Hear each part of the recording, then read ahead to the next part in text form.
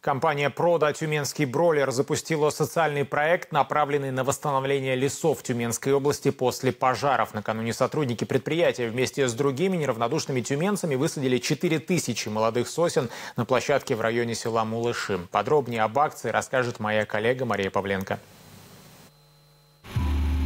Тысячи гектаров леса в Тюменской области пострадали этим летом от пожаров. Нести свой вклад в восстановление зеленого массива решили в компании «Прода Тюменский бройлер». Более 50 сотрудников фабрики вышли на посадку 4000 саженцев молодых сосен. К ним присоединились представители общественности и просто неравнодушные люди. Старт дал заместитель губернатора Тюменской области.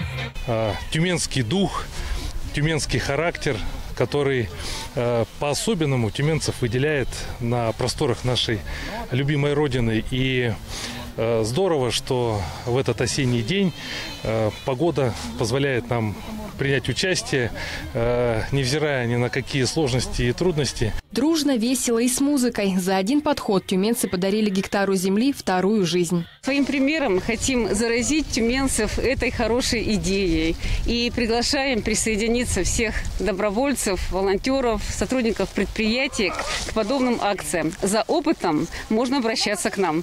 Сотрудникам важно показать пример не только другим организациям, но и в первую очередь своим детям. Я высадила все деревья, мне помогал мой папа. Он выкапывал ямочки, а я садила. Я чувствую, что они станут большими, здоровыми, и все будет прекрасно.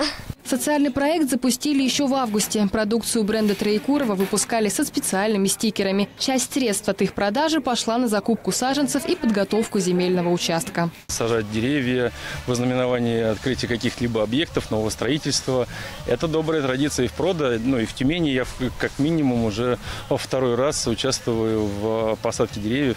Это имеет созидательный эффект, созидательную энергию.